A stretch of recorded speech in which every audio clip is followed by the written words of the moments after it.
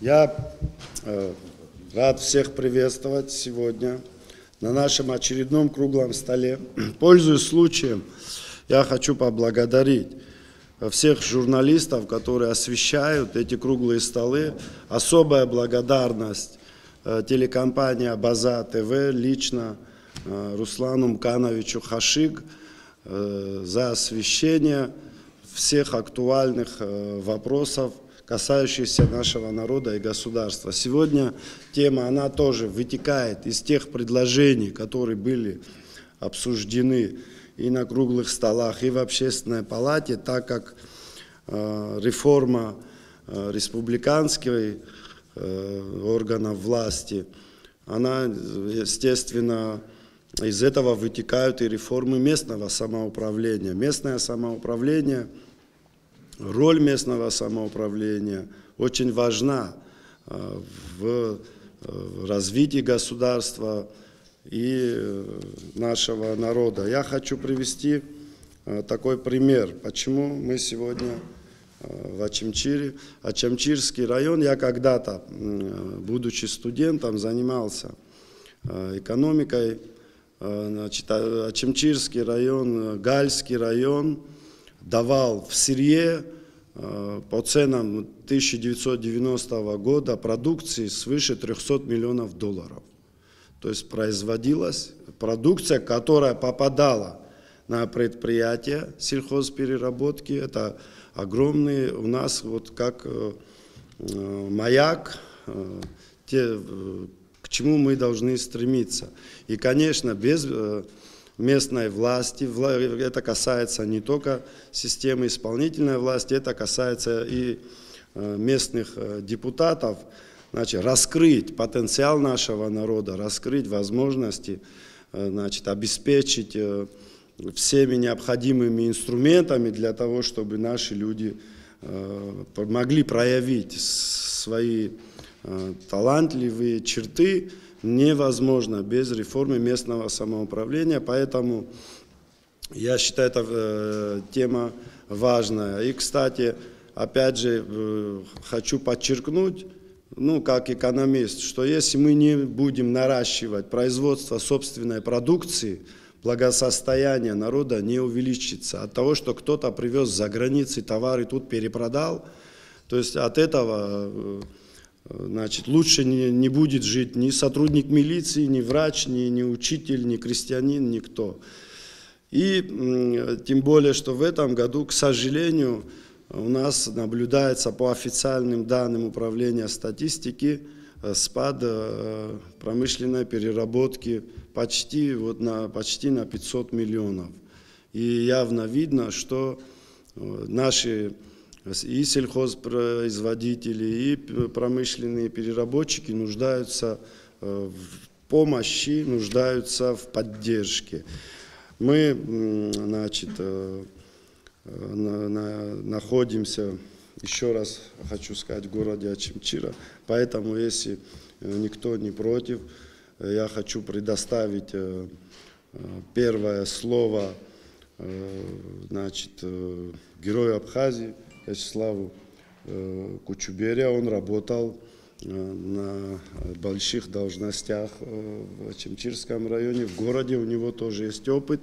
Далее прошу подготовиться э, от Гура Амирановича Ардзенба. И вот так пойдем. Регламент у нас 7 э, минут. 7-10. Изана бриза круглый стол, я все идей варгартиоп.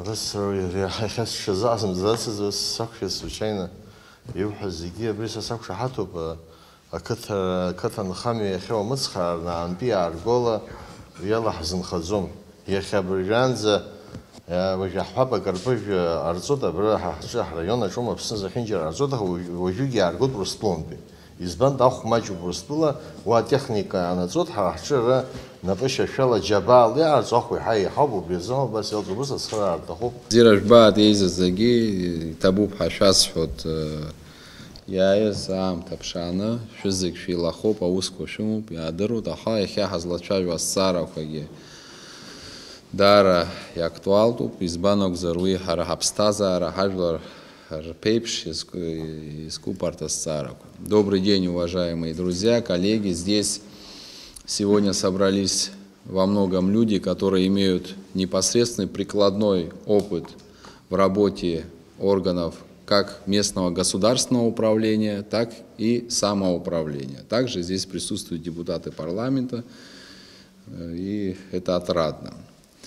Я говорить много не буду. В нашем случае, я имею в виду нашу организацию, предложение по реформе государственного управления на местах, а также изменение ряда функций, полномочий органов местного самоуправления, они есть, они уже готовы, но мы их еще не упаковали, как говорится. Мы хотим сегодня, я лично, наша команда, хотим услышать каждого присутствующего, его идеи. Этот вопрос открытый. Мы должны коллективным умом, коллективным разумом сложить единую некую концепцию, видение по реформе на местах.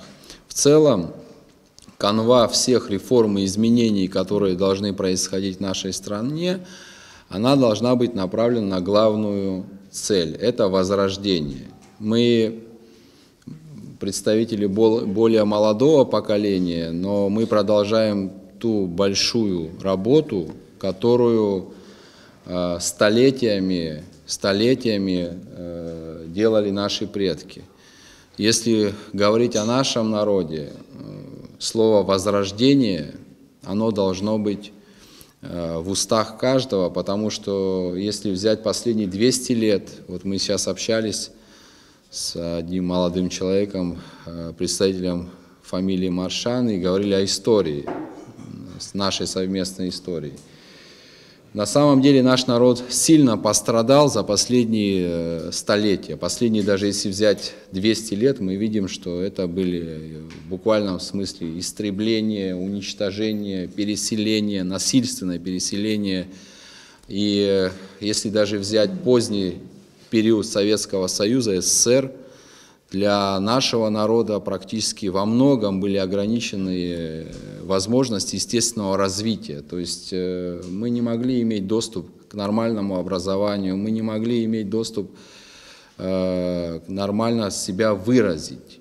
И это, конечно, накладывает определенные отпечатки. Плюс ко всему этому добавилась ожесточенная борьба за право на самоопределение, когда грузины оспорили силовым путем это наше право, нам удалось все вместе отстоять, но опять же мы заплатили очень высокую цену.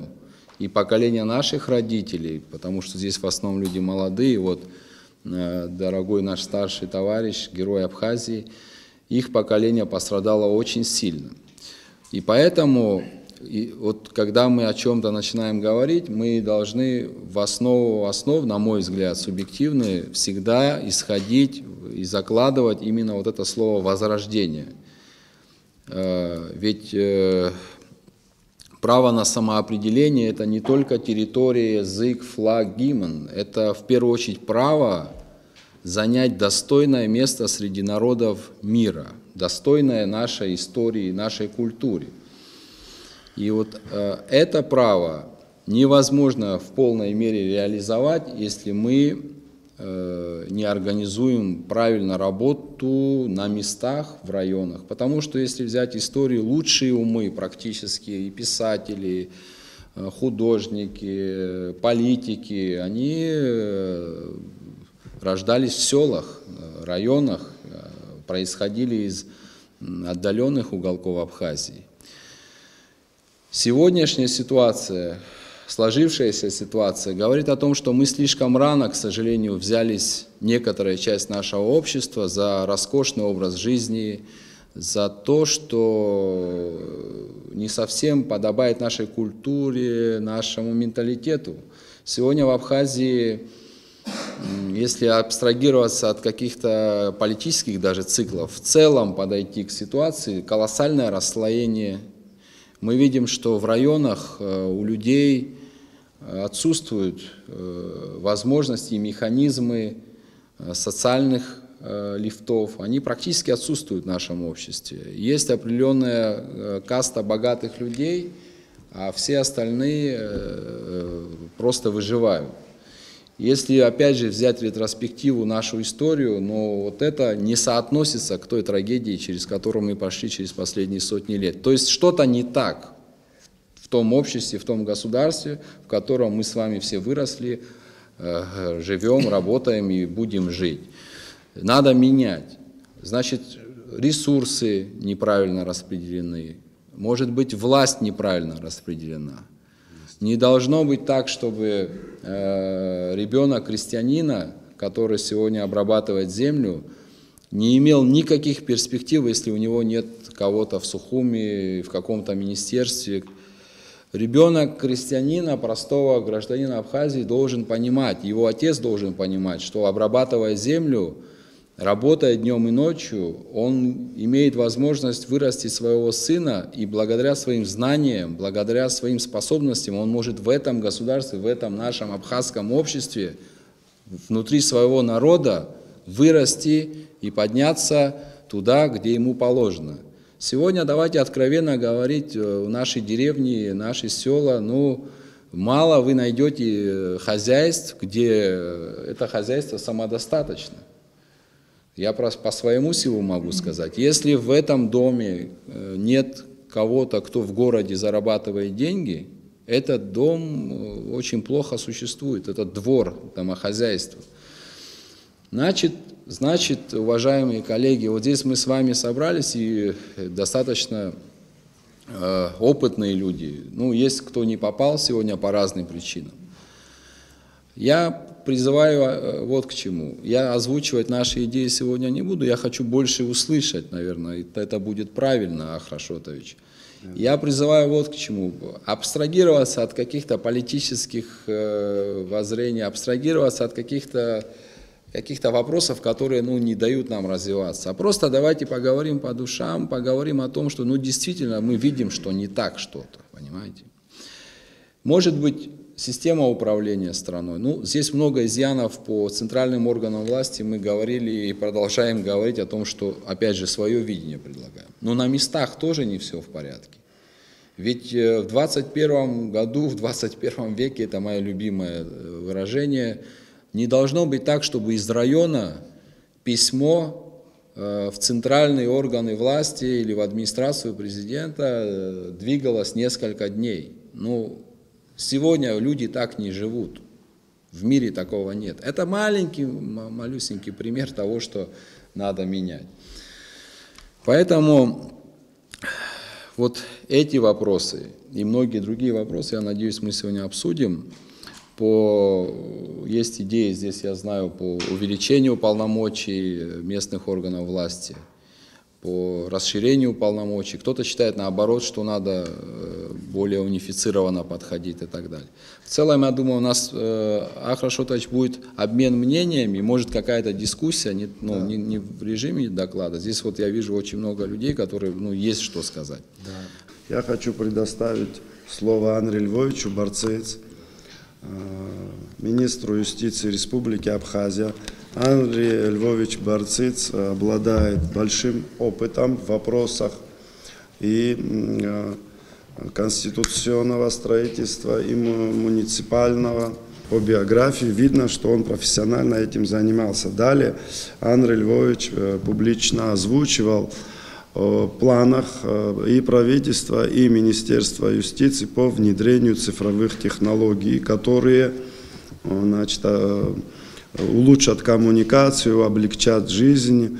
И э, я как понял, э, ну это я со стороны, а Андрей Львович свое мнение говорю, что они дадут возможность проявлять себя а, простым э, гражданам более в современном формате и ускоренном формате.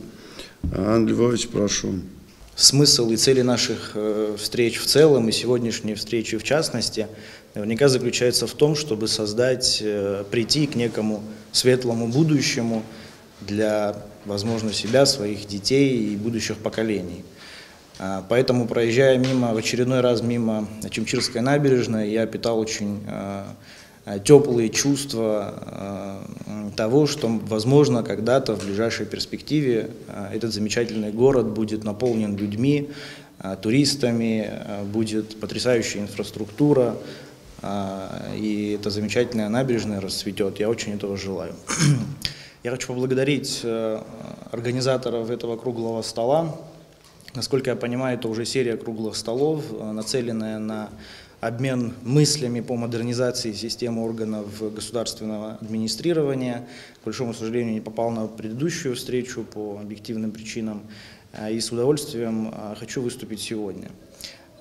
Я вот хочу поблагодарить вас отдельно за ту формулировку обсуждаемых тем. Это усиление роли местного самоуправления в государственном строительстве и местное самоуправление как один из основных инструментов раскрытия потенциала народа. Вот эта вот формулировка раскрытия потенциала народа меня навела на такие вот комплексные мысли, с которыми я хотел бы э, сегодня поделиться. Э, уважаемый Эдгур Амиранович, вы сегодня в вступительном слове упоминали э, самоопределение, упоминали о очень тяжелом пути, который проходил наш народ в комплексе мы реализовали свое право на самоопределение, восстановили свою суверенную государственность. Мы не, мы не создали ничего нового, мы восстановили то, что а, было а, наработано годами предыдущими поколениями. И самоопределение и само по себе это право народа определять свое настоящее, будущее и оценивать свое прошлое в том числе. А, в этой связи мы на протяжении многих лет неустанно осуществляем а, шаги разного рода, направленные на становление и модернизацию нашей абхазской правовой системы. Конечно, в большинстве случаев мы пытаемся не изобретать велосипед и используем опыт а, как э, нашего э, сопредельного государства в лице нашего партнера Российской Федерации, но и периодически пытаемся внедрять механизмы администрирования западных стран. А, в этом ключе у нас есть э, и определенные успехи, и определенные поражения, но я не склонен э, ни о чем сожалеть. Я считаю, что это наш национальный путь становления, э, становления нашего государства, и в обязательном порядке этот путь увенчается успехом. Я в это очень сильно верю. А, на мой взгляд, реформа местного самоуправления – реформа как таковое, э, представление модернизации системы администрирования э, возможно в рамках двух плоскостей, помимо обширного спектра других направлений. На мой взгляд, первичным может быть изменение в понимании правоприменения или правоприменительной практики, исходя из тех нормативно-правовых возможностей, которые есть на сегодняшний день у, представителей, администрирования на местном уровне. То есть есть определенный объем нормативных полномочий, и наверняка этот объем полномочий можно было бы а, либо более качественно использовать, либо более э, напористо, насыщенно и, как следствие, эффективно. Вторым, на мой взгляд, направлением, над которым следует существенно поразмыслить, является нормотворческая деятельность в сфере модернизации системы а, местного самоуправления. Здесь э, может быть большое количество идей. Э, я думаю, что сегодня большая часть из них будет озвучена. Я не буду э, лезть в эту сферу. Я думаю, что коллеги, которые подготовлены, специально об этом скажут. Но вот из некоего практического своего личного опыта а в качестве наблюдения хотел бы отметить э, э, вещь, которая, наверное, многим из вас знакома. Эта вещь связана с тем, что э, роль местных представителей, представителей местных властей, она с течением вот последних, ну, сейчас не буду цифры называть, нескольких лет, она очень сильно увеличивается. Наблюдается, на мой взгляд, тенденция, по которой большое количество молодых людей пробуют свое участие, в том числе и в выборном процессе, э, и баллотируются в местные представительные органы власти. Это тоже своего рода омоложение, которое, э, вероятнее всего, приведет к появлению новых современных мыслей, которые эти представители будут реализовывать в ходе своей профессиональной деятельности. И вот тот перекос, который я заметил, я могу ошибаться, вот меня простите, я не истина в последней инстанции, Но это тоже наша практика, которую в ходе, например, вот этих реформ можно было бы попытаться нивелировать. Э, это высокая роль депутатов э, Республиканского Народного собрания парламента Республики Абхазия в решении э, вопросов местного значения. То есть тот функционал, который, по идее, в нормативном смысле этого слова должен быть за местным депутатом, более активно используется депутатом Народного собрания и парламента. А, мы понимаем, как бы, что основная задача решения бытовых местных вопросов, таких как а, дорога, э, трансформаторы, вода и так далее, а, должно лежать первично на депутате местного собрания, но по каким-то причинам большая ответственность в этом плане ложится на депутата парламента от э, конкретного округа. В этом плане в вопросах предложенных э, реформой можно было бы сделать упор на то, что как бы по функционалу первичная задача депутата Народного собрания заключается да, там, а, в представительских функциях и в законном нормотворчестве, а вот этот вот функционал по обеспечению а, оперативного решения местных вопросов все-таки усилить и направить на а, функционал депутатов местного собрания. Теперь, э, что касается, уважаемый модератор, ваших, э, вашего направления, связанного с э, цифровыми технологиями, здесь, наверное, речь пойдет о таком взаимном комплексе, может быть, нормативной диффузии и эффективного взаимодействия между органами государственной, центральными органами государственной власти, госуправления и местными органами управления.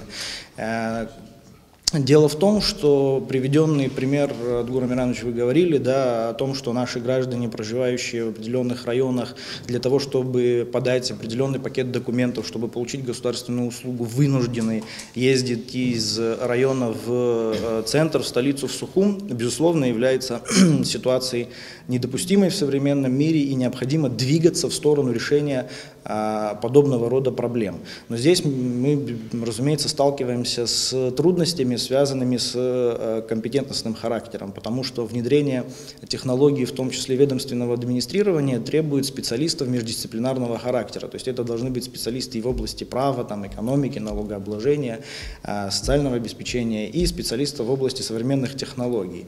А, в этом плане, конечно, хочется верить, что у нас э, будет больший поток э, компетенций э, в плане подготовки именно этих специалистов, и эти специалисты смогут перекрыть вот тот трудовой компетентностный провал, который у нас на сегодняшний день есть. В плане персональной деятельности Министерства юстиции в области внедрения этих технологий мы, безусловно, тоже нацелены были с первого дня на то, чтобы создать условия облегчение для наших граждан получения государственной услуги. Но, разумеется, сталкиваемся с большим количеством проблем, связанных с тем, что прежде чем ты внедришь какую-то систему, создашь какую-то систему, необходимо создать ну, платформу.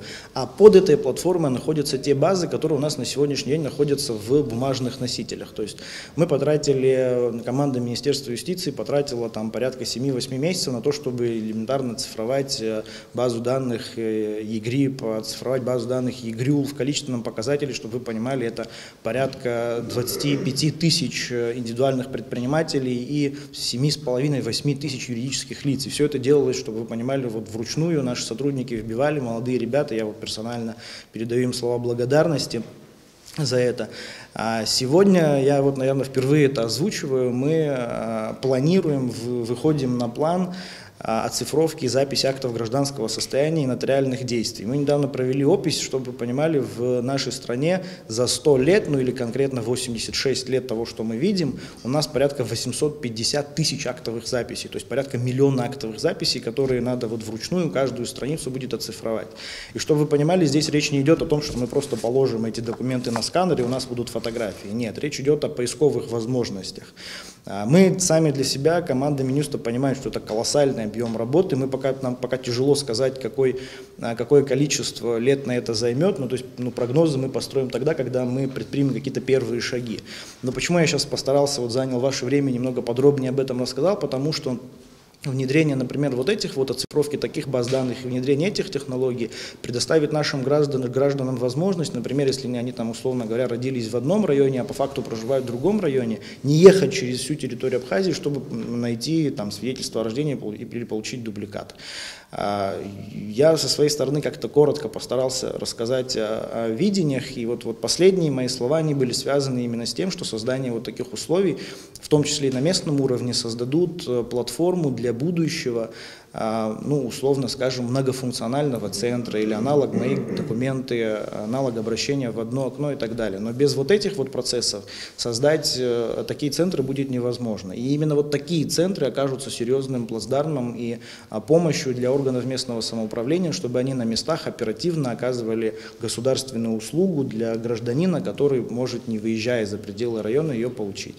Я благодарю вас за внимание. Э, еще раз говорю, рад всех приветствовать и надеюсь на дальнейшее э, конструктивное обсуждение сегодняшнего вопроса. Спасибо. Анна Львович, э, можно я два слова по поводу на местах можно, потенциала? Да, это действительно ситуация, она и характеризует то, о чем мы все вместе говорим, о том, что люди стремятся больше переехать в Сухум, там себя реализовать, потому что больше возможностей. Но несколько лет назад мы провели такой эксперимент, я очень коротко расскажу, Министерством экономики реализовали программу инвестиций в человеческий капитал. И в рамках этой программы мы с каждого района э, ребят, кто работает в администрациях, ну, кто имел желание, мы направляли в составе общей группы э, с представителями центральных органов власти, отправляли в наиболее развитые регионы Российской Федерации для того, чтобы они получали некий опыт прикладной или могли посмотреть на то, как развиваются их коллеги э, в регионах Российской Федерации. В частности, мы вот в Татарстан отправляли, Надар ездил с группой. И хочу сказать, Анна Львович, э, это был как бы эксперимент, потому что до этого систематически этим никто особо не занимался. И по возвращению каждой группы они приходили ко мне в кабинет э, Министерства экономики и выражали свои э, эмоции. Я был очень хорошо э, удивлен тем, что я слышал. То есть ребята включились, глаза горели, и за очень короткий период, Надар сколько времени там занимало? Там недели две, по-моему, да? Они очень получали пропитывались вот той энергетикой, которую они там э, видели. И я к чему это говорю? Потом поменялось опять правительство, опять новое видение и так далее. Это у нас часто бывает. Поддержали, не поддержали. Ну, к чему я говорю, Анна Львович, если есть, вот вы этим занимаетесь сегодня, слава богу, есть такие министры, кому это интересно, да, вот можете этот опыт посмотреть, Э, и желательно, конечно, к этому подойти вот в системе э, подготовки кадров на республиканском уровне. Я хорошо, то ты говорил об этом на прошлой нашей встрече. И тогда мы сможем вот подтянуть или во всяком случае пощупать потенциал. Но из того, что мы пощупали тогда в первый год, Анна Львович, очень хороший был, как говорят, фидбэк обратный такой был очень хороший. Если это силами одного министерства, если сделать э, более широко и мощно, я думаю, потенциал хороший. Спасибо. Андрей Львович, ну, благодарю вас за ваше выступление. Оно очень информативное.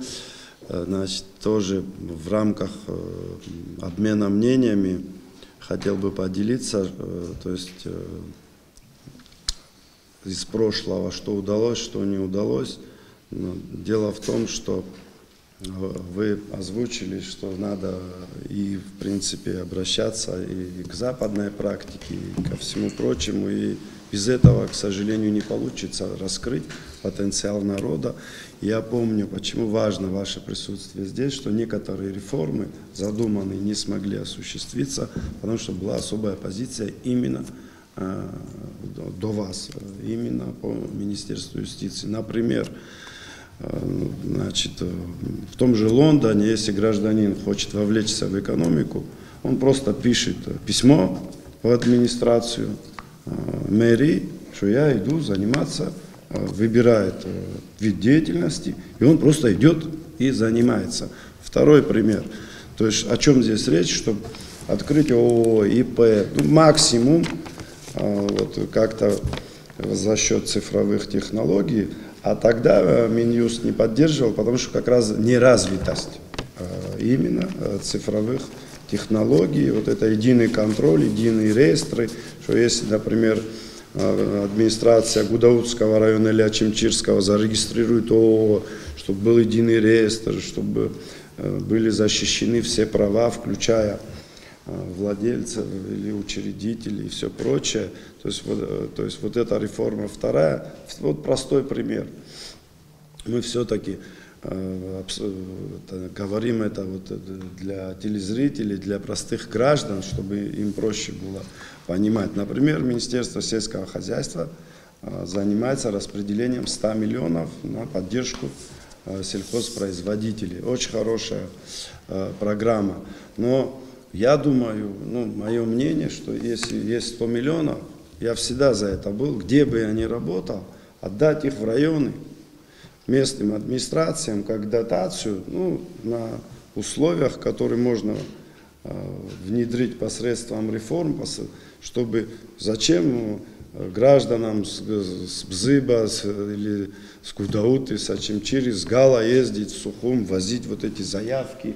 Вот я думаю, что чем больше мы какие-то инструменты внедрим, и э, я просто э, так понимаю, что вы эти новшества поддерживаете, чтобы наши граждане имели больше инструментов для развития, для старта в районах. Сейчас еще раз спасибо, Андрей Львович. Ну, дальше будет дискуссия, я уверен, что вы еще что-то нам расскажете. Я хочу предоставить э, слово э, депутату э, Народного собрания Республики Абхазия Гарри Гурамовичу Кокая. Гарри Гурамович, насколько мне известно, он имеет и опыт, и сталкивался именно с проблемами района и проблемами сельхозпроизводителей. И какое видение парламента, там, будет ли парламент поддерживать такие реформы, или, может быть, какие-то другие нужны реформы э, по местному самоуправлению. Кари Гурамович. Хочу поблагодарить организаторов этой встречи, этого форума. Очень актуальные проблемы э, поднимаются, общение такое принесет какой-то позитив. И, и хорошо, что это провели именно в городе Ачимчира, потому что районы как-то не участвуют э, в политической жизни страны. Это не совсем хорошо, только привлекаются во время каких-то событий, выборов. Такие э, встречи будут полезны в дальнейшем в разных районах нашей страны. Спасибо всем э, организаторам и присутствующим. И темы, которые вы поднимаете, они очень актуальны. Местное самоуправление последнее, последнее время, может там э, Андрей Львович сказал, что где-то и молодежь начинает подтягиваться в этом, но это от районов зависит, там в городах там больше активности, в районах не совсем так.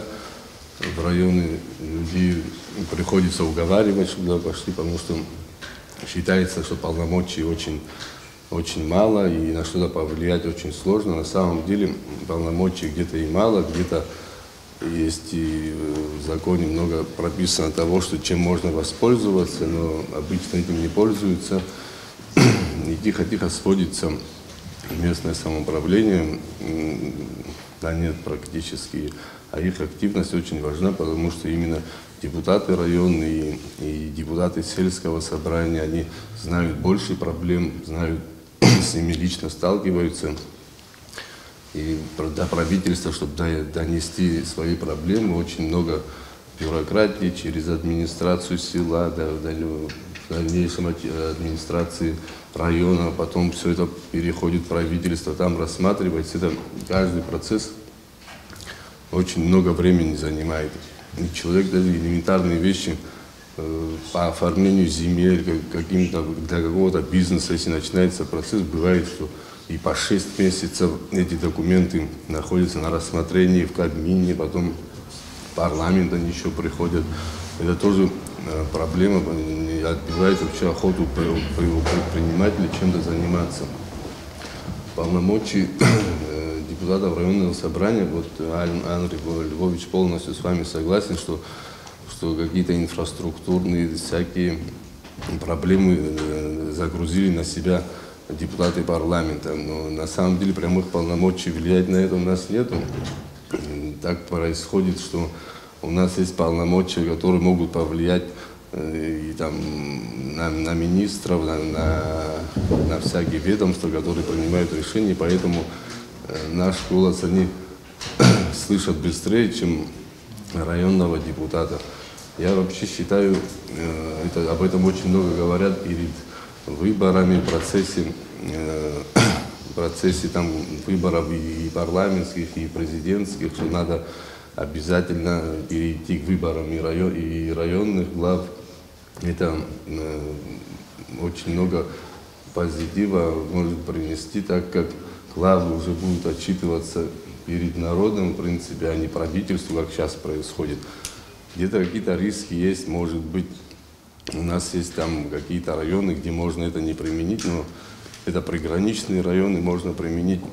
Это в районах, где это возможно, и ничего в этом страшного нету. И тогда уже если, если население на района будет выбирать себе глав, они также будут требовать какой-то отчетности, тогда полномочия можно усилить и депутатов района, для того, чтобы они могли призвать к ответственности главу. Здесь э, может сложиться такая ситуация, что гла- главе э, какое-то недоверие может быть по каким-то его ошибкам. Районные депутаты могут э, выразить ему недоверие, но в то же время могут из-за этого быть распущенными уже президент, президентом. Так прямого влияния на него они не имеют. И поэтому и поэтому э, не, не- не все хотят сидеть статистами, хотя инструментарий э, у них есть. Но до конца довести нельзя, не- потому что подключается уже центральная власть и помогает главе.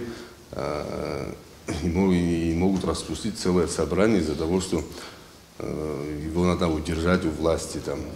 На самом деле весь этот процесс начал уже такой характер иметь, что местные самоуправления, в принципе, занимаются подготовкой к выборам, а, а, работу главы администрации района оценивают по каким критериям, как он провел парламентские выборы, если э, считается провальным его работа, если провластные, там, лояльные кандидаты э, власти не смогли э, пройти в, в этом районе, то это его работа оценивается плохо. Что бы он ни делал, какие бы экономические у него там не были бы хорошие результаты, на это никто внимания не будет обращать. Этот глава обязательно будет э, уволен и най- найдется тот человек, который будет именно.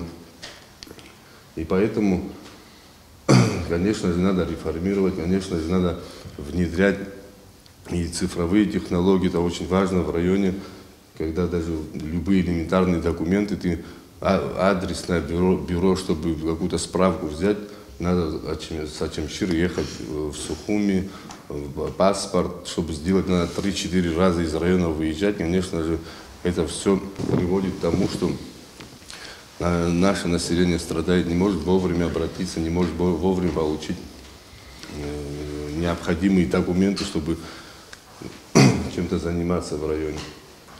То, что касается каких-то ваших планов по реформам, которых мы еще, может, и не ну, услышим на, этом, на, этом, на этой встрече или нет, мы все равно с ними ознакомимся. Еще параллельно есть у нас сейчас э, комиссия конституционная, я думаю, в этом направлении тоже какие-то изменения там видят разные документы, разные взгляды, которые будут все равно по итогу рассматриваться у нас в парламенте. И все здравые, хорошие идеи мы, конечно же, будем поддерживать. Все, что от нас зависит, мы сделаем для того, чтобы улучшить именно э, жизнь нашему населению, народу нашему. Спасибо большое. Так, в дальнейшем дискуссии будем участвовать, подключаться. Спасибо, Гарри Гурамович, спасибо вам большое.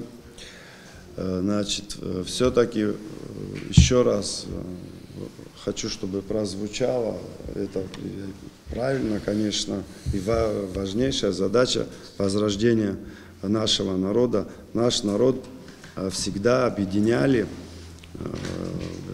писатели, поэты, ученые, спортсмены, государственные деятели.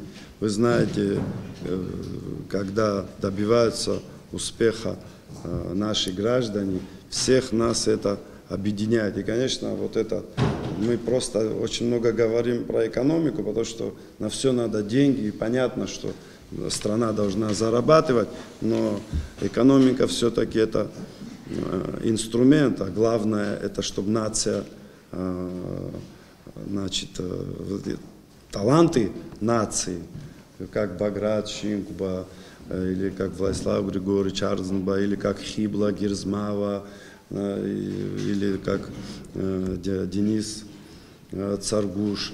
Вот эти таланты все время имели возможность особенно при э, поддержке э, местных администраций, рождаться и раскрываться. Э, я хочу сейчас слово предоставить Адгуру Лагвилава. Адгур Лагвилава был один из основателей партии Айнар. Партия Айнар первые свои шаги на политической арене она делала, опираясь на вопросы э, демографии, на те э, проблемы, которые сложились в связи, э, как сказал Адгура Миранович, с разными трагическими иными событиями у нашего народа. Предоставляем слово и как вот в рамках нашей темы какую поддержку может, может оказать местное самоуправление в вопросах демографии, в вопросах репатриации. Спасибо, Ахра. Я хочу в том, тоже поблагодарить организаторов. Я очень рад, что о Чемчиру вспомнили. Наконец-то это мой родной город. Я живу, э, живу в Сухуми давно по, по понятным причинам. Я не хочу о них говорить. Думаю, все прекрасно понимают, в каком состоянии у нас находятся наши регионы. А Чемчирский район, Кварчерский район – это просто катастрофа. Реальная. Там, если говорить там, о Западной Абхазии, Гагаринский район, Гудаутский район, как-то у них получается выживать за счет туризма. У нас здесь э, на самом деле перспектив для молодежи практически нету. Почему, это, почему так э, произошло, я думаю, это тема, тема отдельного э, круглого стола, мне так кажется, именно о проблемах регионов. А что касается сегодняшней темы, хотелось бы по поводу местного самоуправления, Ахра, ты правильно заметил а, по поводу вопросов демографии, что мы э, вообще, в принципе, с этого началось, начался и наш вопросов э, демографии. В том числе второй наш, так скажем, наша основная идея была, это истинное народовластие. Сегодня в Абхазии а, к сожалению, наша система, давайте говорить прямо, мы можем какие-то концепции сегодня обсуждать, но если говорить о сути того, что сегодня происходит, и о сути абхазской сегодняшней политической системы, она ничего общего не имеет с интересами народа. Абсолютно ничего. Она, э, она, скорее всего, так задумана не была, но э, по факту это происходит так. Если говорить о местном самоуправлении, сегодня местное самоуправление это абсолютно декоративная структура. Абсолютно. Э, я это говорю и как гражданин, и как человек, который имеет опыт общения с депутатами э, там, и Сухумского собрания, и местными депутатами. А, мне кажется, что это все происходит из-за того, что не придают значения органам местного самоуправления, из-за того, что нет понимания, у руководства страны, у всех руководств страны, что это очень важная вещь для развития и страны, и как правильно вот было там в теме у вас обозначено, раскрытие потенциала народа. А, что у нас сегодня с органами местного самоуправления э, происходит? Да, многие, кто имел опыт работы да, и избирался в органы местного самоуправления, говорят о том, что не хватает полномочий, но даже существующие полномочия полностью не могут быть использованы местными депутатами. Так система построена. Фактически депутат сегодня не имеет никаких инструментов быть полностью самостоятельным, если он хочет быть эффективным у себя в районе. Он всегда зависим от того места, где ресурсы. А ресурсы у нас у исполнительной власти. И все эти люди, они назначаются президентом. Это хорошая система для того, чтобы там сохранять власть. Она только, ее смысл только в этом. Давайте вещи называть своими именами, о чем вот э, Гарри Кукая говорил. С, э, не, единственный критерий оценки главы администрации – это выборы. Потому что мы это наблюдаем, это при всех президентах это так.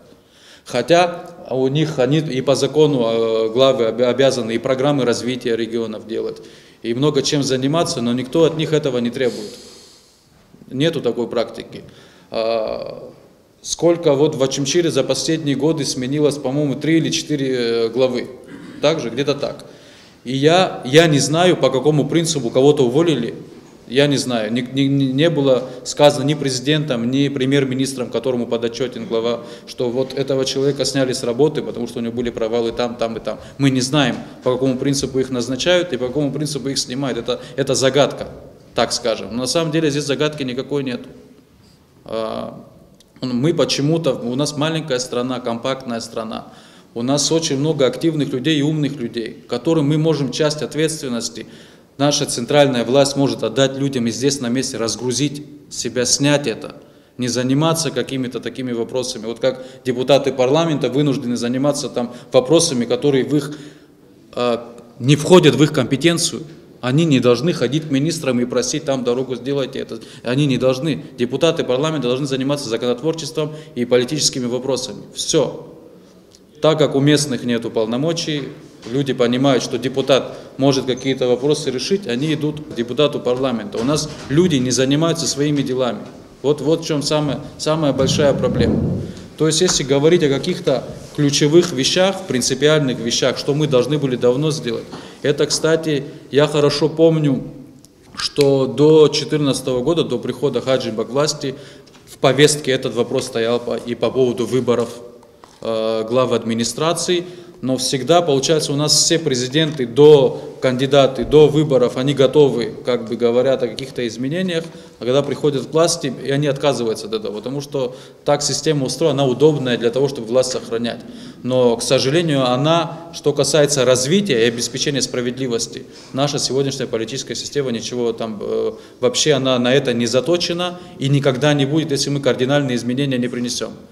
Первый главный ключевой вопрос сегодня, с чего мы должны начать, это сделать выборность глав администрации.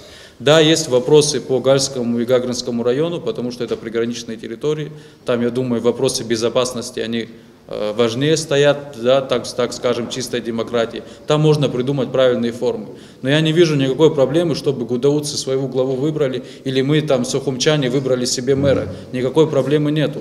Хотя многие из тех, кто выступает против этого, и э, многие политические деятели, они говорят о том, что мы не готовы, оказывается, выбирать главу администрации. Вот это, это единственный аргумент, который я слышал, и он настолько глупый. То есть мы, э, граждане, мы можем выбирать президента гаранта Конституции. Можем выбирать людей, которые пишут законы, а человека, который должен там асфальт не сделать на улице, я, оказывается, выбрать не могу. Но это глупость, да, это...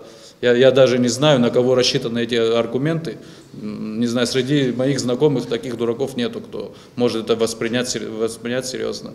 Поэтому я хочу вот реально, если э, кто-то... Сейчас у нас работает комиссия по конституционной реформе, я насколько знаю. От ГУР, я насколько знаю, у вас там есть план, э, у вас есть э, свое видение да, изменений. Но мне кажется, именно вот этот вопрос, да, именно выборность глав, э, я думаю, он не может быть дискуссионным, этот вопрос. Как это технически делать, да, это уже пусть там юристы, правоведы этим занимаются, но принцип, мы, я хочу выбирать мэра в своем городе. Я думаю, также э, жители Ачимчирского района тоже с удовольствием выберут себе главу, потому что люди могут оценить эффективность работы. Потому что его не выбьют. Даже можно срок сделать не 5 лет, как президента, там 2-3 года, как во многих странах делается, чтобы быстро от этого человека, так скажем, от плохого избавиться, а хорошего, наоборот, оставить. Так что вот так, если так коротко, мое видение такое. Спасибо большое. Я хочу предоставить слово Дмитрию Маршан. Дмитрий Маршан, на удивление, один из тех э, депутатов э, местного самоуправления, который предложил и фактически реализовал реформу мы очень внимательно все наблюдали. Сможет он сократить э, значит, э, количество э, депутатов местного Сухумского самоуправления и повысить тем самым эффективность. И э, я думаю, он э, тоже нам расскажет, где можно усилить, где наоборот, и предложит, как все это лучше сделать, опираясь э, на свой опыт. Спасибо, Ахра. Спасибо. Я, честно говоря, специально не готовился. Да. Э, Больше расскажу о прикладном опыте, с, с тем, с чем мы сталкивались.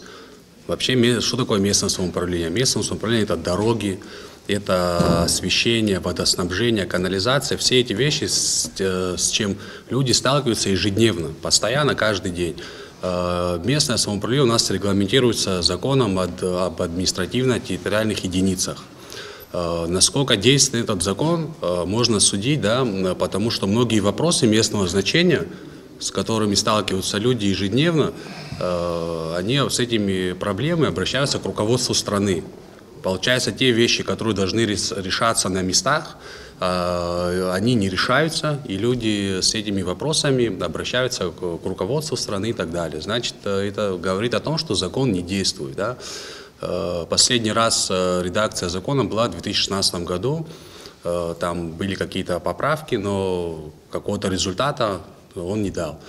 Э, По моему мнению, э, эффективно закон сможет работать тогда, когда будет вовлеченность людей, обычных граждан, когда э, у обычных граждан будут рычаги воздействия, влияния на администрации городов, сел и так далее.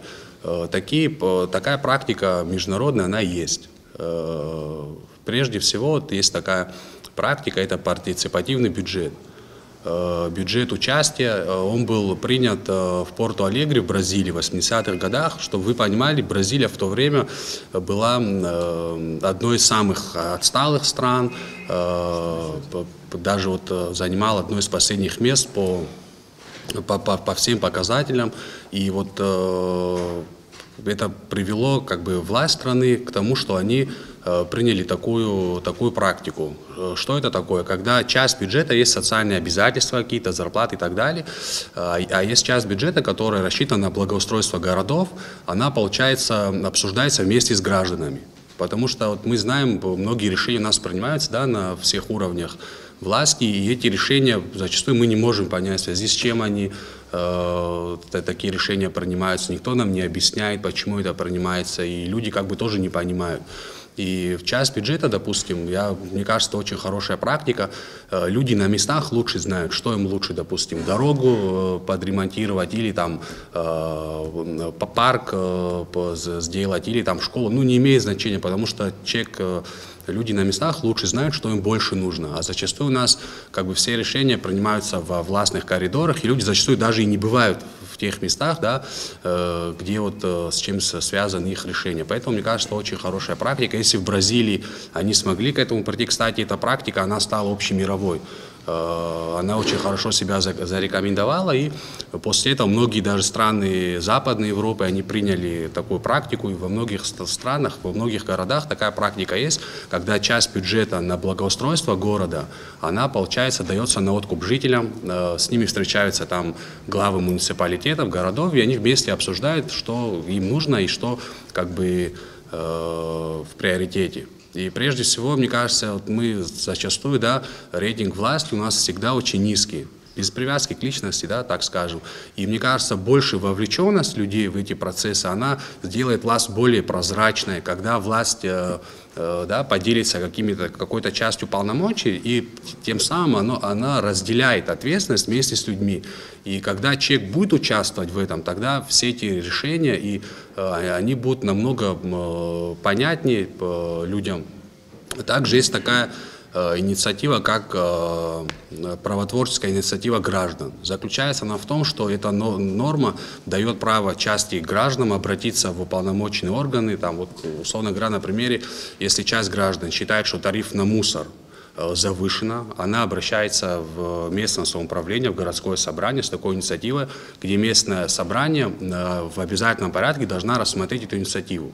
Если, допустим, э, э, эта инициатива покажется, то, что на самом деле тариф, какой-то тариф, да, он завышен, то собрание примет решение, чтобы тариф понизить. Ну, это и есть вовлеченность граждан во все эти процессы, когда мы вот знаем постоянно, да, вот э, до этого здесь говорили, что постоянно у нас какие-то э, политические вот всякие дрязги и так далее. И мне кажется, это вот все эти механизмы, инициативы, они наоборот помогут, когда человек будет э, понимать, что от него что-то зависит.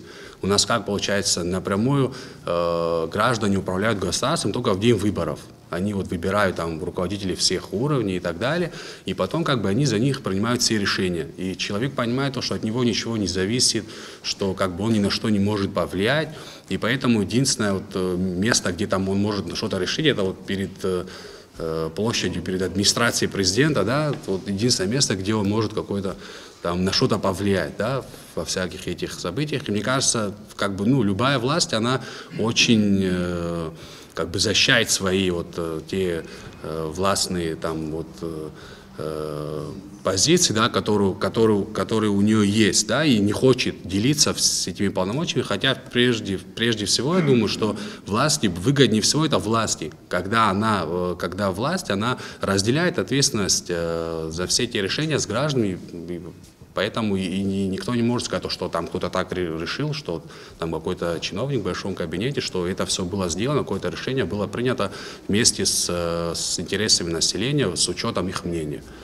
Вот. Также, ну, мне кажется, это исторически близко нам, потому что у нас даже вот при феодальной системе и так далее, у нас все решения народ принимал вместе, да, и таких примеров очень много, там и восстание, ну, очень много примеров, когда э, даже обычный рядовой гражданин мог повлиять на какие-то процессы, которые у нас происходили. А вот сейчас у нас происходит то, что весь перекос у нас идет э, в исполнительную власть, к сожалению, и зачастую принимаются такие решения, которые как бы людям непонятны, и эти решения никто не объясняет.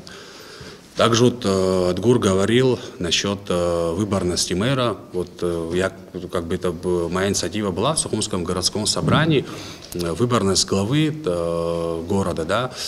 Почему, как бы вот на наш взгляд, это лучше? Потому что любой выборный глава, он легитимнее чем человек назначаемый, да, тем более все знают все вот эти назначения там, да, и там мэров городов и так далее, это все у нас происходит в преддверии выборов каких-то и так далее, на основе там, становится предметом да, торга. Станов, ну да, становится предметом торга и так далее. И по большому счету система, опять-таки без привязки к личности, система такая, когда человек приходит, ему в принципе не нужно граждан принимать, потому что он напрямую зависит от президента страны, у них есть какая-то там договоренность, и поэтому ему мнение граждан по большому счету как бы не, тоже все зависит от человека, конечно, но неинтересно. Когда же человек, он выборный, так или иначе, на, наверное, да, любой политик, он хочет дальше пойти там, на другие выборы, и поэтому ему важно то, чтобы население его поддерживало.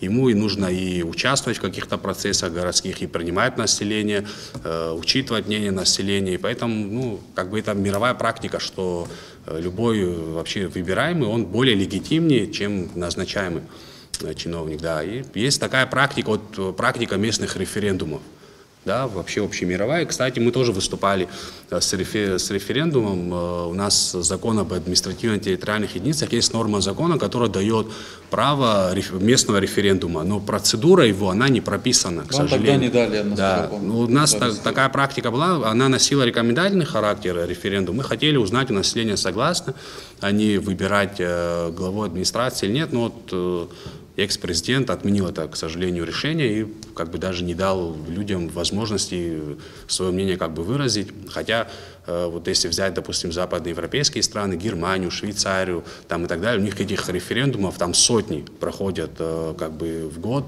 И даже такой был пример, когда в Германии, да, в каком-то городе строили автобан, ну, федеральная власть строила автобан дорогостоящий, и он проходил через какой-то сквер. Группа граждан с этого города собралась, значит, э, обратилась с, с, с такой инициативой, что провести референдум. В итоге референдум провели, и граждане высказались против, чтобы этот, э, чтобы этот автобан проходил через сквер. И поэтому пошли на большие как бы э, затраты и пришлось автобан в обход этого сквера делать. Это говорит о том, что э, прежде всего важно слышать мнение людей.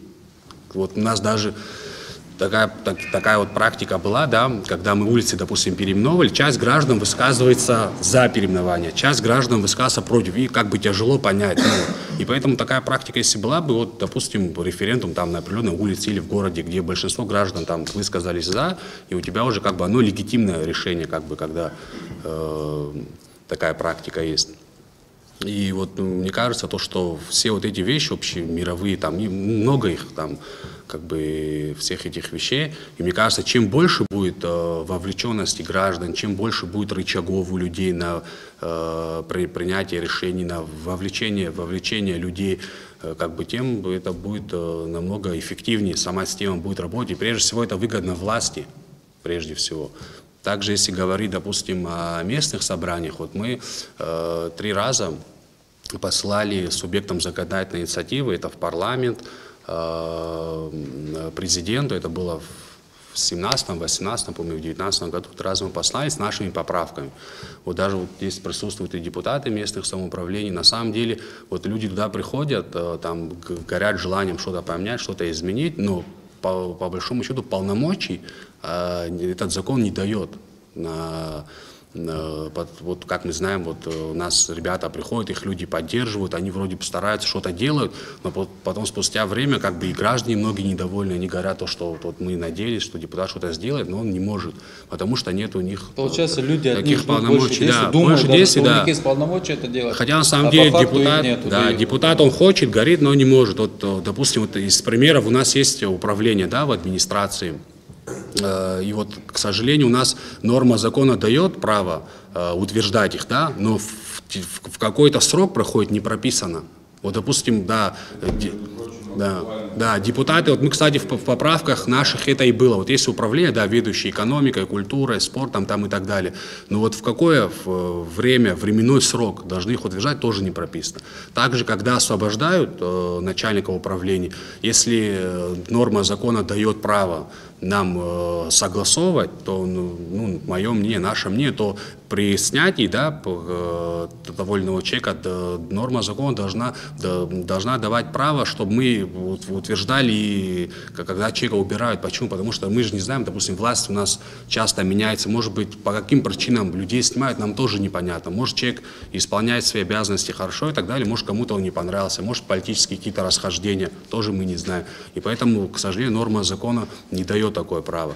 Также э, это касается начальника управления внутренних дел. Да? У нас здесь получается двойное подчинение.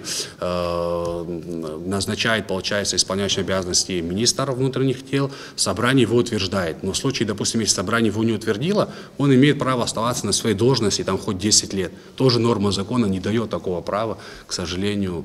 Э, да. И очень много как бы, таких вещей, мне кажется, еще, э, так как, может, и не популярное такое решение, да, но мне кажется, что депутаты местных собраний должны быть э, на оплачиваемой должности. Почему это нужно? Потому что когда сегодня так получается как общественная нагрузка. Депутат, он э, работает там, в другом месте и так далее, и получается вот у него как э, общественная нагрузка, он не находится на своем рабочем месте постоянно, а чтобы он более эффективнее э, свои обязанности по- исполнял, мне кажется, он должен постоянно находиться на рабочем месте, принимать людей, постоянно быть вовлеченным в эту работу. Хотя это может быть не популярно, да, потому что у нас как бы наоборот чиновничий аппарат очень большой, его нужно сокращать, но именно как бы э, в этом плане, мне кажется, депутаты должны быть на, опла- на, оплачив- на оплачиваемых должностях. Или хотя бы пол- пропорционально, да. Вот мы, допустим, бывали и в Москве, и в Санкт-Петербургском собрании, у них часть депутатов э, как бы э, находится на общественных началах, часть депутатов находится на как бы, ну, на, на на оплачиваемой должности. Ну, проблем очень много, да, вот я с ребятами тоже разговаривал, с Сухумского собрания, у нас была даже вот практика такая, когда мы соб- собирались со всех э, районов э, председателей, и вот все эти вопросы, то, что как бы, за что у нас душа болела, то же самое у них на самом деле, все вот как, бы, как бы эти вещи, э, они свойственны для всех регионов, всех как бы к сожалению, нету полномочий, нету прав и на местном уровне. Поэтому я думаю, что если будут инициативы, да, которые... И, и то, мне кажется, власть, она не всегда идет очень как бы неохотно, да, какие-то фобии в обществе постоянно там возникают, то, что вот мы, к сожалению, очень э, не хотим что-то менять, постоянно чего-то боимся и так далее. Так что, мне кажется, если больше таких инициатив будет, тем больше эффективнее на местном уровне можем решать те вопросы, как бы, которые связаны именно с, э, с жизнью граждан, вот, с каждодневными вопросами. Спасибо большое, Дмитрий. Очень, очень информативно э, выступил. Я думаю, что, конечно, я тоже был сторонником выборов э, глав администрации, но у нас народ осторожный, и осторожность народа связана с теми бедами и трагедиями, которые наш народ э, пережил. И мое предложение раньше заключалось в том, что давайте мы э, в столице начнем, выберем, проведем, посмотрим нормально и уже далее э, в, других районах тоже перейдем к этой системе. Сейчас я хочу предоставить слово Ривазу Беня. Значит, Риваз Беня много лет проработал депутатом э, Гагринского собрания местного самоуправления. Лично я его знаю хорошо, и он мне э, запомнился э, тем, что он активно всегда защищал общественные территории.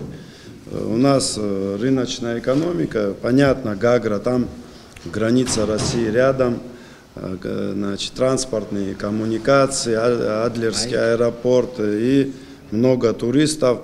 И значит, наше общество сталкивается с тем, что э, идет попытка коммерциализации общественных территорий. Это парки, это зоны отдыха, это набережные, это э, значит, объекты Э, значит, а, или образования, или культуры, когда некоторые граждане пытаются их захватить и коммерциализовать. Второй вопрос тоже касается непосредственно сегодня, сегодняшней темы.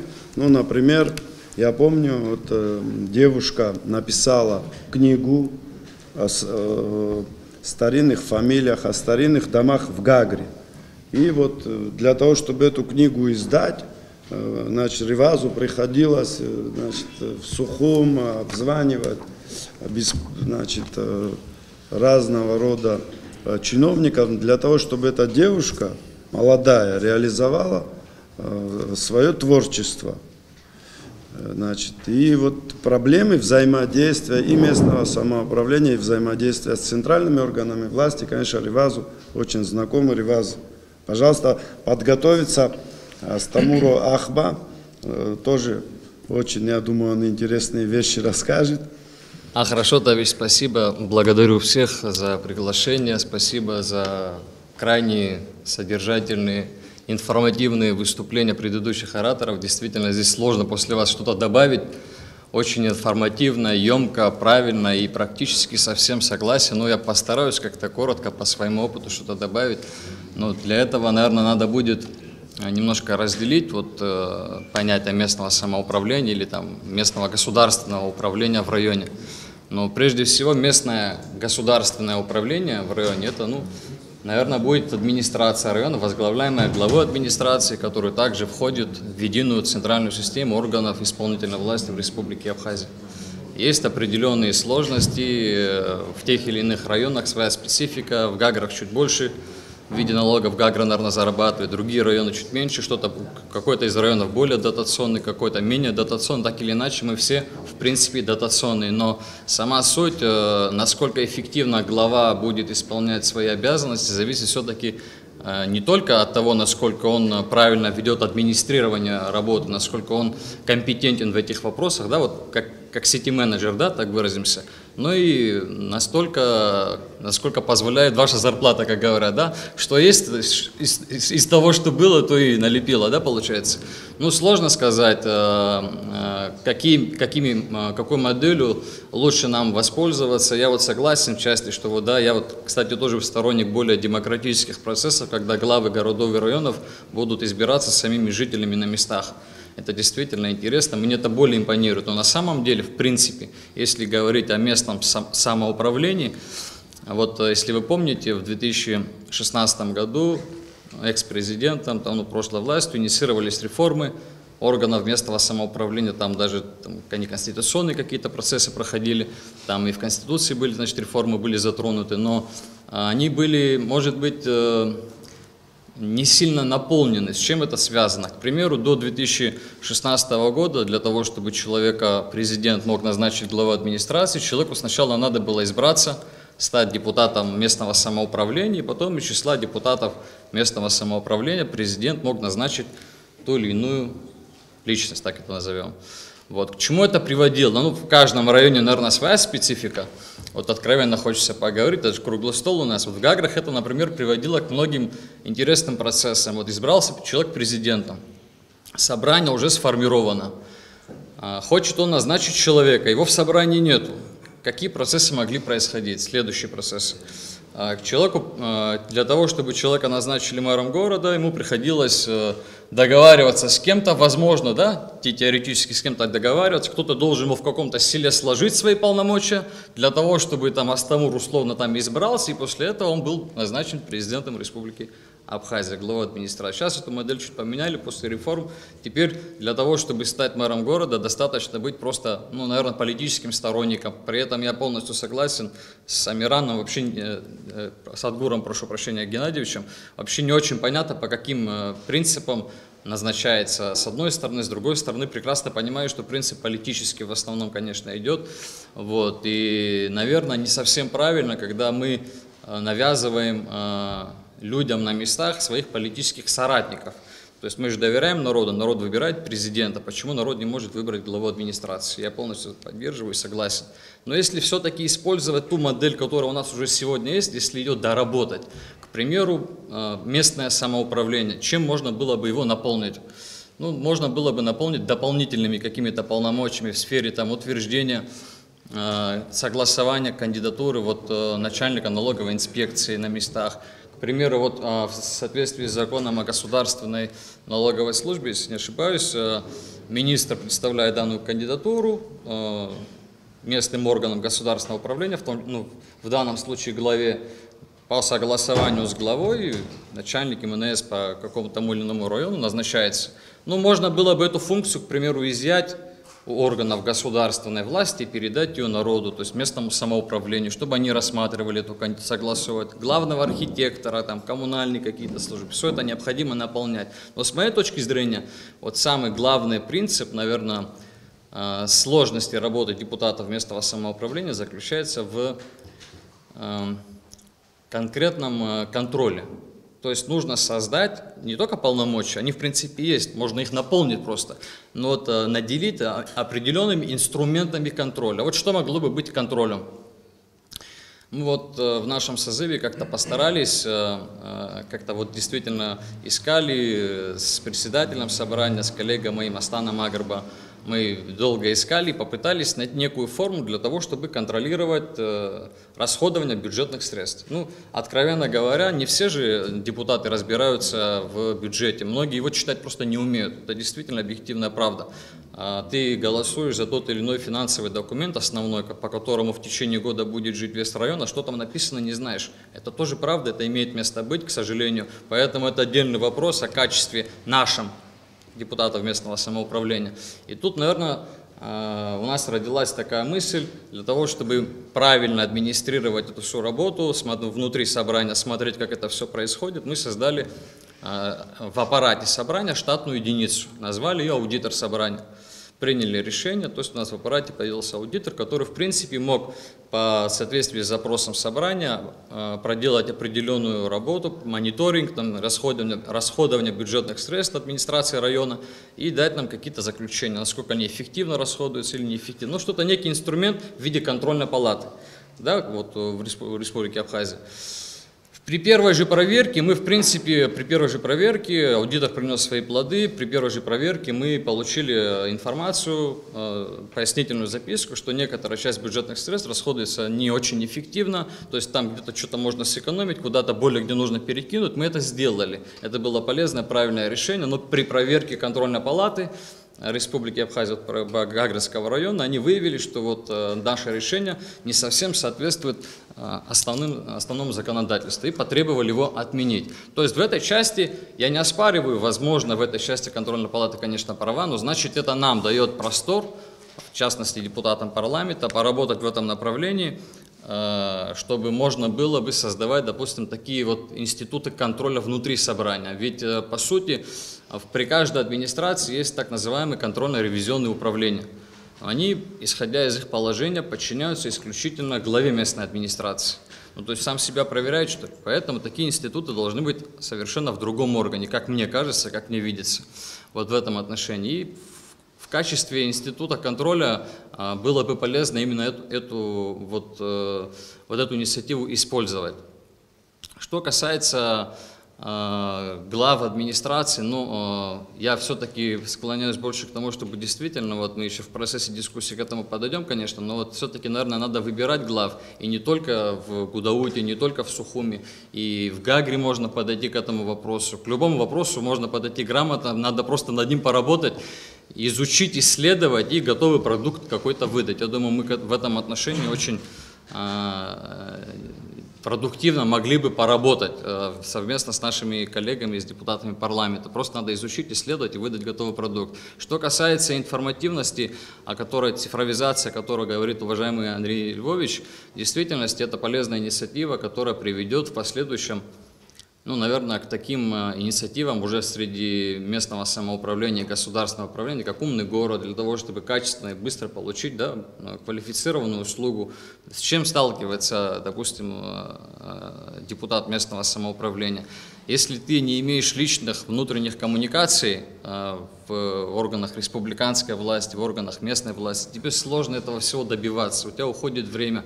Я полностью согласен, когда вы говорите, что человек не должен долгое время обращаться там, с заявлением там, на разрешение на строительство или о выделении ему земельного участка и сидеть, ждать, потом это заявление может потеряться, потом оно может вообще там, э, значит, его рассмотреть только через полгода, через полгода в итоге он в ожидании ждал, а пришел отказ. Все должно быть быстро, информативно, и к этому, конечно, надо стремиться, чтобы, чтобы более качественно качественные услуги предоставлять населению.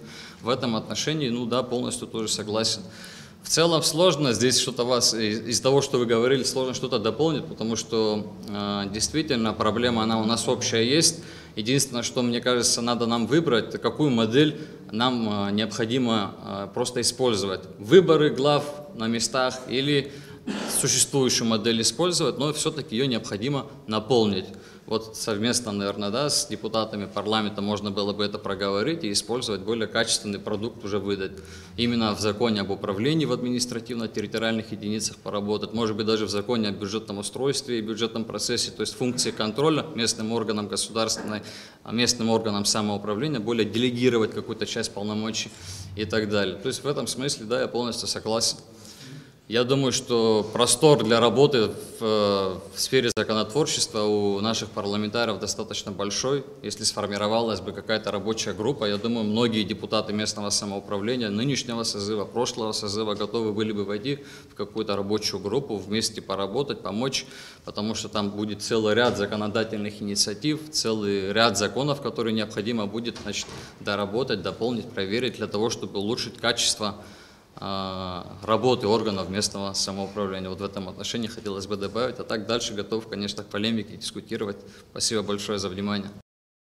зегьы гәаанагарак гәаанагарак ҳамоуп аԥсҭазаараҿы нас ахшыҩ лаҵаны ҟаҳҵоуп ԥхьаҟатәи ҳусқәа иаҳзеихуоуп ҳазлацәажәо ҳазегьы еилкаауп аҵыхәтәантәи аамҭазы аҳан нас ус аӡәгьы ҟаимҵеит ҳаԥхьа иҟаз ҳашьҭахь иҟаз хәҷык иашам ҳазԥхьаӡоит уажәтәи аусқәа ҳазегьы ҳазцәырҵуа проблемақәа иҳамоу ауадаҩрақәа иҳамоу иаҳзеиԥшу уадаҩрак роуп иҟоуп иԥсаху аҵыхәтәантәи аамҭа заҳан аамҭа инақәыршәаны аха иахьагьы иахәҭоуп ҳәа ҳазегьы ҳаԥхьаӡоит иҵегьы ашьаҿақәа ԥхьаҟа аҟаҵара уи аганахьланы сара инарҭбааны шәалацәажәеит егьыс нас ибзианы иаҳдыруеит ҳара иахьа ари ачамчыра араион ҳахыҟоу амацара узым ауадаҩрақәа Аԥсны ихаҵанаго ирацәоуп иҳазцәырнагоит аҭыԥантәи иашаны азнеишьа ҳақәымшәар аҩныҵҟатәи амиграциа аԥхьа инаргыланы ҳқыҭақәа ҭацәоит аибашьра аамышьҭахь амиграциа ҳауаз ҳара иҳазхәыҭҳаз сгәы иаанагоит ибзиан иаҳдыруеит иахьа нас ара иҳәон аҩыза дота раион магагра раион атуризм аганахьла хәҷык аҿиара ыҟоуп уи аганахьла ара иаҳдыруеит абжьыуаа цоит уахь хәҷык нас ҭыԥқәак рыԥшаауеит аусурҭақәа хыҟама ихырҟьаны уа инеиуа урҭгьы рхыԥхьаӡара азхаӡом ибзиан иаҳдыруеит иахьатәи анаплакҩцәа ирызцәырҵыз ауадаҩрақәа уи адагьы иҟоуп егьырҭ иҳазцәырҵуа ауадаҩрақәа уи ҳалацәажәозар иахьа нас ара аус ахызуаз аганахьла ԥсышәала исҳәоит нас аԥсшәа зегьы ҳдыруеит ҳазгәаанагоит ари нас хәҷыкгьы аԥсшәала ҳцап ара урысшәалагьы сылшаратә сыҟоуп ҳазгәаанагоит изхысҳәарц исҭаху анаплакқәа иахьа абра анри лиова иԥа ишиҳәаз еиԥш аусура шьаҿа-шьаҿала ҳцар ацифровизациам автоматизациам ус уи иахьа аамҭа ицәырнагаз усуп уи зыдызмкылогьы ауаа ҳамоуп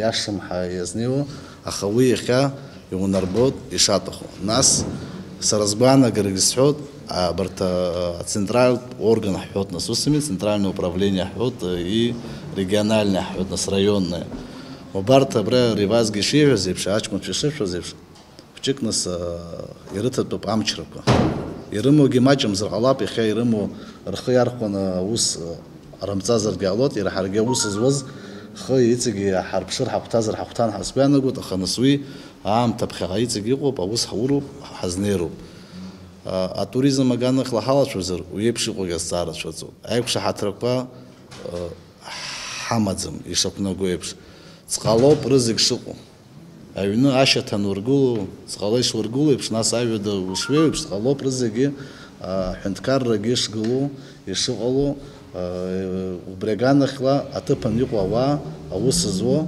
иҵегь ацхыраара рыҭатәуп уже цохтан прям то заханябот абри хазам аналога вот реформа и Ибзин яхдурут хазиги айма кача кацан искенги а НДС уи ани вазно НДС гдам сазлачажу атыпан пи НДС избан угзыр шуку сирпхадзон уи атыпача анхарагун уи уи казарагун искенги ахчажаракуган. Ихя сара сквана исход яшан ипхадзоб уи аҳәынҭқарратә бюджет ашҟа иаауеит агьырҭ аналогқәа ирзаанрыжьыз рхы иадырхәыр иахьа аҭыԥан иҟоу избан акәзар ауаа ус ахыруа аҭыԥан аҿоуп ииашаны идыруазароуп иахьа ақалақь ахада ируидагьы шаҟа уаажәлар иахьа аекономикатә процессқәа имҩаԥысу рхы аладырхәыр рҭахызар нас агьырҭ араионқәа рҟынтәи нас аимадарақәа ыҟазароуп зҭаху ирыгу ирыбзо ааԥхьара рырҭо ма ирзеиԥшу азҵаара изцәырҵыз аганахьла изнеины аԥышәа змоу ауаа зыҟаҵо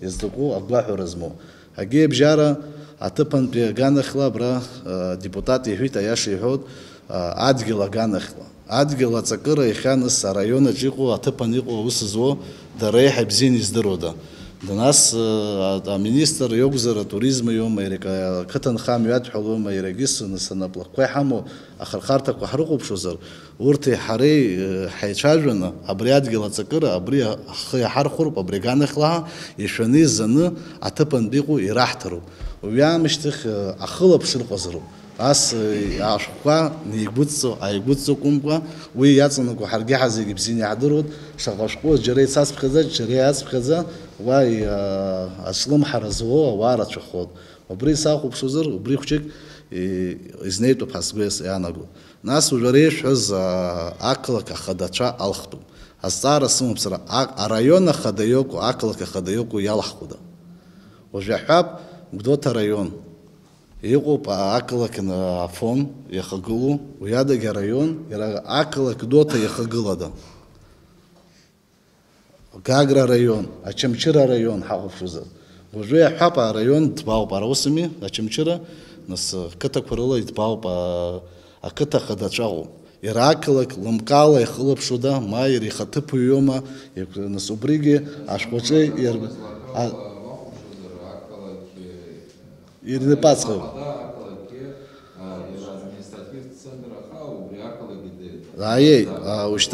ишәымҳәои нас иара ишиҭаху иара ишигәаԥхо ҟаиҵоит ҳа қыҭак аҿы дацхраар ҟалоит игәаԥхарала араион ақалақь дацхраар ҟалоит дагьымацхраар ҟалоит ишышәҳәаз еиԥш аҭыԥ аҟынтәи уда шьаџьара дааганы дахадыргылоуп убригьы аӡәы инапы ма ихаҭыԥуаҩ дахылаԥшо ирҩадагьы аӡәы ихаҭыԥуаҩ иажәароума жәақыҭак роума дахылаԥшо ахылаԥшреиҭо аҭыԥхықәра иманы иара ақлак араион аҿы иҟоу иҳабаҿы убас иҟазар ҳәа сгәаанагара сымоуп егьи абжьара нас аҭыԥантәи адепутатцәа ишышәҳәаз еиԥш ауалафахәы роуп ҳәа саргьы сақәшаҳаҭуп избан акәзар улафахәы зымуз ауаҩы иахьа иара иҟынтәи аԥсҭазаара аҿынтәи иҟоуҵеи узҿыз иаҳа ауаҩы изиаҳәаӡом уи ус анакәха аҵыхәтәантәи аамҭа алхрақәа ҿаҳнарбоит ауалафахәы акәӡам аха ауаа убрахь рхы здырхеит Инеиаанӡа нас шықәсык аамышьҭахь иааныжьны ицоит еиҭалхрақәа еиҭалхрақәа уи иара абиужет аҿы иҟазаргьы убри аганахьла нас сара сықәшаҳаҭымгьы шәасҳәоит аҭыԥантәи аизбаркомқәа иҟоу абри араион аҿы ус зуо ауалахәуп уи ҳара иаҳзынагӡом ҳәа иаҵанакуа иоуп иахьа амчраҿы иҟоу алхрақәа мҩаԥыргоуп ус иахәҭаӡам ҳазеицԥхьаӡоит уи ихазны орган ҳасабла иҟаҵаны иҟазароуп уи сара сгәы аанагәырган сыжәра зегьы игәаҳԥхьаӡо иаазыҳәаӡом аха ҳаԥхьантәи аҭыԥ аҭыԥантәи аусқәа ҳаргәар ҳҭахызар уи аҟынтәигьы ҳалагар ҳахәҭоуп ҳасгәы иаанаго акиабжьара нас абзира анцәа иҟаиҵат иахьа иахагылоугьы урҭ рзаҳан имариоуп аԥсҭазаара уҳәар ҟалаӡом урҭгьы реформақәа иалацәажәоит иахьа нас ара еиԥшызгьы аҿар иалацәажәоит иара даҽа гәыԥҩык ауааҟоуп иҟоуп аҭыԥқәа иахалацәажәо ҳа зегь нас ҳҳәоуқәа еиқәшәаны изыҟамларгьы аха зҵаарак аҿы ҳҳәоу еиқәшәаны иҟалар ԥхьаҟатәи шьаҿак ҟаҳҵеит ҳасгәаанагоит иҭабуп исыӡырҩыз Табуп идуӡаны Саид Будба юристот Саид Будба, депутат Сухумского городского собрания, Астамур Тарба, после него депутат Народного собрания. Атгур Амирович, вам личное спасибо за то, что сегодня организовали такое мероприятие. Это мероприятие сегодня организовывается в городе Ачимчира, что вдвойне приятно.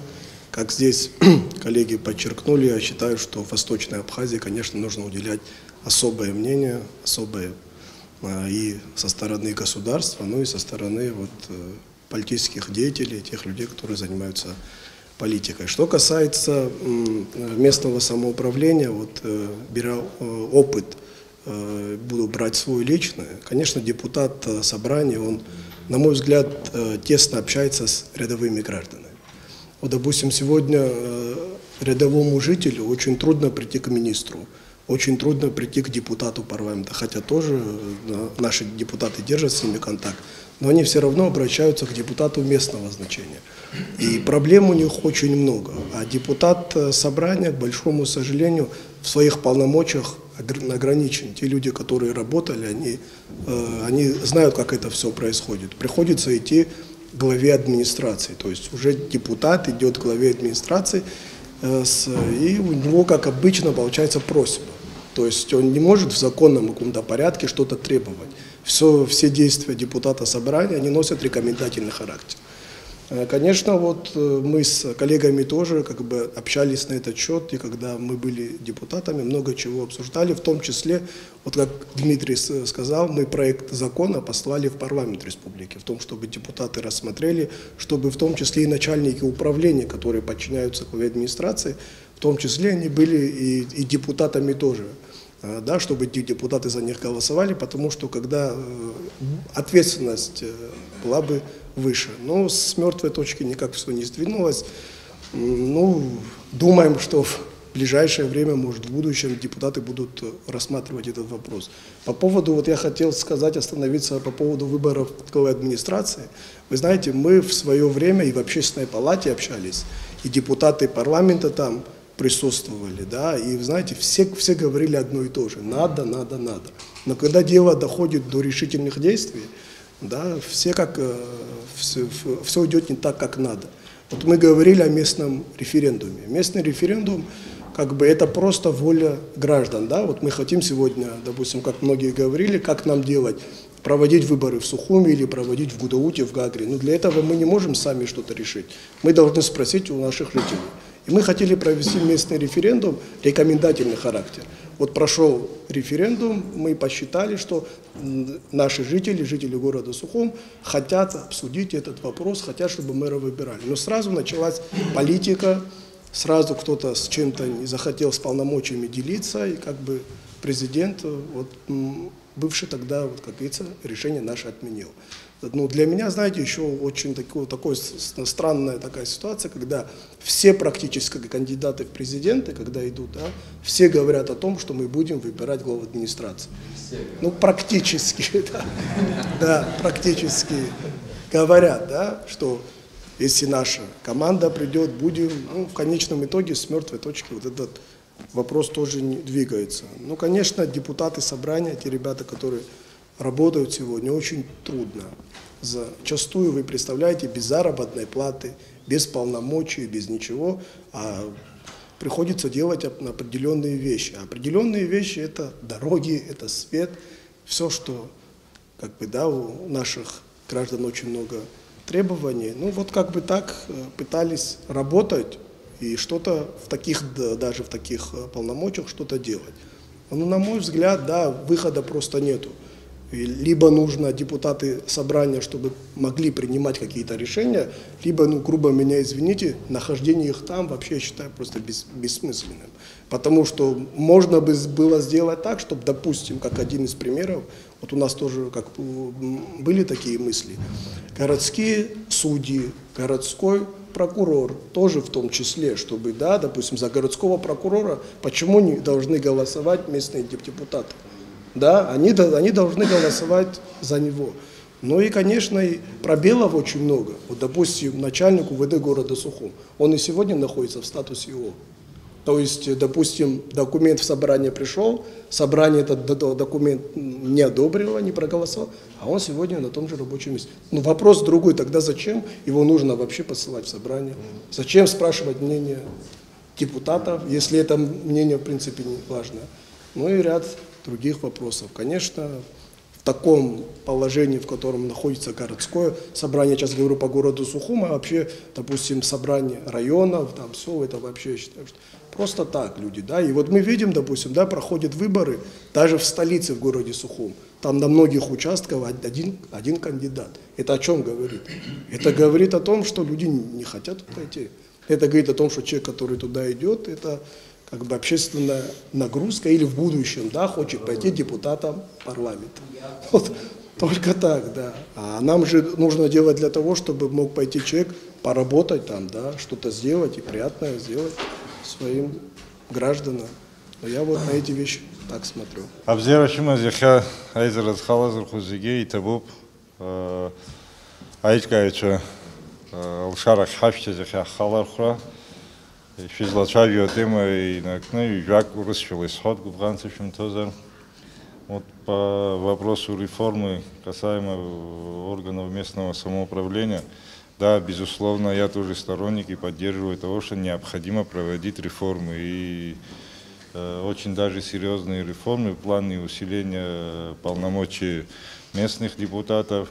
Но это мое субъективное мнение. Э, и да, есть необходимость проведения реформы, но самая большая беда и проблема наша, не в обиду никому это будет сказано, э, Сегодня у нас есть закон о местном самоуправлении. Наша большая беда, я считаю, то, что этот закон в полном объеме не работает. Э, сегодня не соблюдаются те нормы, которые прописаны. Вот даже касательно депутатов парламента, вот я себя возьму и депутатов местного самоуправления – в ходе выборных процессов э, мы на себя берем, каждый получается, что какие-то обязательства перед населением, там во благоустройстве их инфраструктуры и всего остального, хотя это не должно касаться депутатов парламента. А касательно депутатов района, сегодня вот у них полномочия ограничены, да, жители обращаются, население видит, что на самом деле в своих возможностях и полномочиях депутат э, районного собрания ограничен. Но я бы считаю, что э, депутат собрания э, в одном лице, конечно, ему тяжело будет какой-то вопрос решить и довести до логического конца. Но когда собрание района будет как одно, один орган работать, и поставить себе цель и задачу э, не решение вопроса локальным образом, э, точечно, а поставить себе задачу перед руководством и себе, что совместно разработать э, программу развития того или иного региона. Скажем, вот э, каждый вот депутат будут, они 10 человек, каждый со своего района, они должны знать со своего округа и района, какие проблемы, какие приоритетные вопросы в первую очередь надо, это э, инфраструктура, развитие инфраструктуры или развитие сельского хозяйства, что приоритетнее будет для э, того или иного района. А мы, к большому сожалению, так не подходим. Вот к нам жители обратились, и мы локально начинаем бегать и э, заниматься этим вопросом, и в конечном итоге мы упираемся в стенку, в тупик попадаем. А если у нас совместно орган один разработает программу развития района или региона, э, будь он глава администрации, будь он и министр, и все остальные, не отреагировать на обращение Э, такого органа, я думаю, что не смогут. А, понятно, да, когда по, по одному вопросу только подходишь, это уже решение остается за главой. Помочь в этом направлении тебе ту или иную дорогу сделать или линию протянуть. А когда у него, к нему на стол ляжет программа развития района, он вынужден будет отреагировать и Э, при э, формировании бюджета учесть все эти э, те предложения, которые предоставили району. Мы вот зачастую этим не занимаемся. Даже вот Ахра затронул тему финансирования сельского хозяйства. Сегодня в этом году заложено на развитие сельского хозяйства 100 миллионов рублей. Это, может, небольшие деньги, но каким-то подспорьем для наших граждан, жителей это Э, может быть, но проблема в чем я вижу, там комиссия создана, я являюсь э, членом комиссии. Единственное, мне бы хотелось, не то, что, на, как вот вы сказали напрямую, чтобы с района туда, в министерство, на комиссию не попадали бумагу, а уже, э, вот, например, Ачимчири возьмем, это один из аграрных районов нашей республики, где можно на самом деле развивать аграрный сектор, для этого все условия есть, но у нас в районе отсутствует программа развития аграрного сектора. Если она будет разработана, даже житель сам не, может, не, ну, не должен будет писать заявление, дайте мне, дайте то. Когда у нас программа будет в каждом селе, что можно вырастить, уже э, на местах глава администрации э, села, э, глава администрации района может уже смело обратиться к руководству страны, чтобы для развития аграрного сектора или в, именно в этом направлении развития вот, э, выращивания той или иной культуры, он сам может обратиться, получить денежные средства в район и, естественно, уже э, потратить их по целевому более эффективно. Ну, я думаю, вот, э, если мы в этом плане начнем работать э, более эффективно и плодотворно, и выгоднее будет для района и для нашего населения. И когда, вот еще один момент, когда человек избирается в местное самоуправление, вот э, мы должны донести людям то, что этот человек не идет туда, чисто только, чтобы заниматься только ихними дорогами, ихним светом и всем остальными. И человек идет отстаивать интересы своего народа в общем объеме за весь район и за все целое. Не то, что там 3 километра дороги или 2 километра провода надо поменять, а будет затрагивать все те проблемы, которые существуют в этом регионе. Спасибо, извините. Здесь э, а, присутствуют депутаты разных созывов, а, что самое интересное, но с течением определенного времени, кстати, а, ничего и не меняется. Все те же проблемы. Но э, здесь хотелось бы подробнее остановиться на некоторых вещах, э, которые, в принципе, не были озвучены, немножечко техники. А вот в контексте сегодняшней беседы Хотелось бы отметить, что а, действующий с 1997 года закон об управлении в административно-территориальных единицах Республики Абхазия требует изменения. Вот э, Дмитрий Александрович сказал о том, что в 2016 году были а, внесены поправки, но, честно говоря, ни на что не повлияли. А, как нам известно, практически в каждом районе республики и в городе Сухум имеются свои собственные управления культуры, образования, экономики, санитарно-эпидемиологического надзора, а, ветеринарного надзора и так далее. Содержание их осуществляется за счет средств местного бюджета. При этом действуют центральные органы власти, регулирующие эти отрасли. А тут попрошу внимания обратить на то, что нормативные акты, регулирующие взаимодействие органов местного самоуправления и органов центрального управления в этих отраслях отсутствует. А, вышеупомянутом законе об о административно-территориальных единицах а, а взаимодействие не отражено. Положение о деятельности данных управлений принимается главами администрации районов без согласования с органами Центрального управления, и порой эти положения противоречат действующим республиканским законам. К примеру, согласно а, закону о санитарно-эпидемиологическом благополучии, районные органы СЭС должны финансироваться из средств республиканского бюджета, а также являться территориальными единицами республиканского органа санэпидемнадзора. А сегодня работает структура полностью противоречащая, противоречащая нормам действующего республиканского законодательства. Также в городе Гудаута есть городская больница. Это, кстати, очень интересная вещь. А, но отсутствует управление здравоохранения. То есть, э, кому относится а, э, республиканская, Гудаутская, не республиканская, а Гудаутская больница – Та же ситуация и в Гагре, но при этом, согласно закону о здравоохранении, местные органы управления наряду с центральными органами власти должны осуществлять регулирование деятельности этих объектов. Но этого не происходит.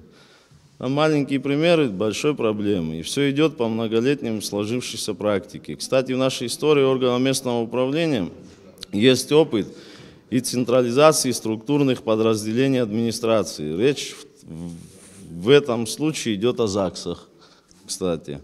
Долгое время они находились в ведении администрации, но в дальнейшем переведены в подчинение профильного Министерства юстиции Республики Абхазия. А, для определения того, как будут взаимодействовать органы Центрального управления и органы местного управления в той или иной отрасли, необходимо разрабатывать соответствующие нормативные акты. В этом вопросе можно обратиться к белорусскому опыту где на законодательном уровне предусмотрено двойное подчинение структурных управлений в районах, как главам администрации, так и руководителям центрального органа управления. В законодательном акте четко определены полномочия местных и центральных органов. Тема, которую я сегодня озвучил, очень важная и требует детальной подготовки. И реформа в области органов местного самоуправления должна начинаться именно с этих вопросов. А сегодня мы имеем на практике децентрализованные органы на местах. И эта проблема складывалась долгими годами. А могу из опыта тоже сказать, что если мы не определим и не централизуем, и не примем определенные реформы в органах местного самоуправления, то, в принципе, вся работа будет сведена на нет. Спасибо за внимание.